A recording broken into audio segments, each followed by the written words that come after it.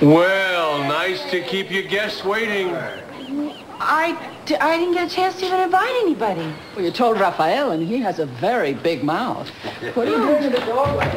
Come on in. The party's in here. Oh, but I didn't get a chance to buy any food. Well, there's a lot of food if you have a sweet tooth right there. Uh, great minds work alike, we all thought. What can we get the couple of us? Everything we figured calories. And champagne. Who's going to join me? Champagne. Champagne, oh, everybody. Here we go. Oh, thanks. Did- Here we I know are. about this. Where is she? yes, I, I called her. I told her Okay, about here it. you Left go. Here you go, then. Well, if she gets it, will she come? I don't know. Robert left town abruptly, callously, and I don't know if she can face all this. Well, if no one has a better idea, I'll kick this off. I know that you uh, think that we brought you here to celebrate to the fact that Eden and I are together again under the same roof, but that's only part of it. We wanted to uh, celebrate our own great good fortune in belonging to these families.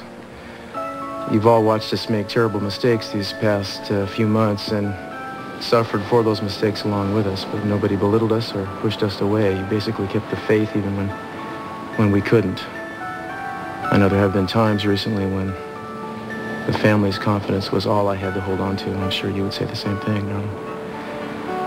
You, uh, you hung with us, and just knowing that you all still trusted we could find our way back to each other was certainly part of what helped us do it, so it seems inadequate, but uh, thank you. We love you. I'm here.